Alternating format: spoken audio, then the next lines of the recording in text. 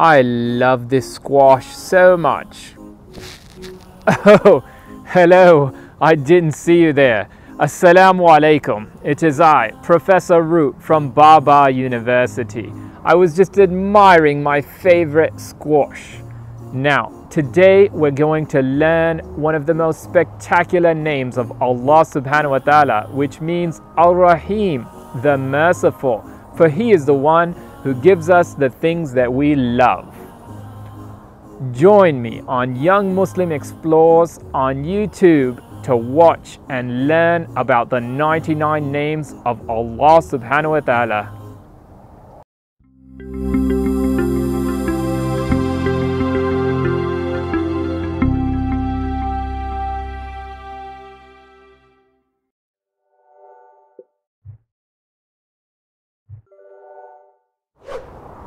Did you know that Ar-Rahim is mentioned 114 times in the Quran?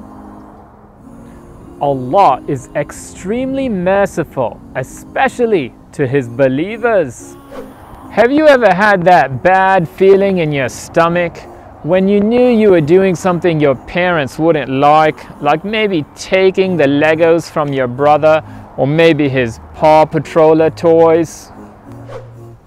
And maybe you've taken your brother or sister's chocolates, snuck off somewhere, and started eating them by yourself.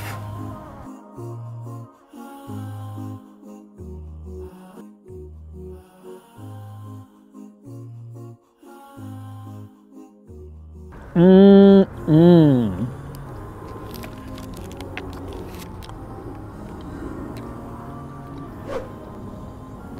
Well, remember, Allah is Ar-Rahim, the merciful, and His mercy is so much greater than His anger.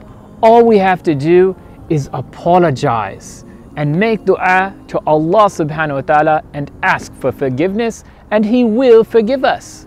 Uh, also, you should probably let your family or your brother or sister know just in case you've finished all the chocolates and apologize to them as well. I'm sure you have seen examples of mercy and kindness all around you. Your mum shows you mercy when you fall or get injured and she applies your band-aid and she loves you so very much. Your older sibling or cousin shows you mercy when they let you win in a race.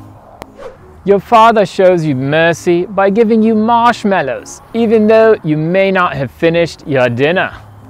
Think of all of the things that you love. Your basketball, ice cream, your toys, Legos, maybe your brothers, your sisters, your mother and your father. All of these things are a mercy from Ar-Rahim, the most merciful. And now think of how you can pay that forward. How can you be merciful to those around you? Think of two things that you can do to show mercy to others.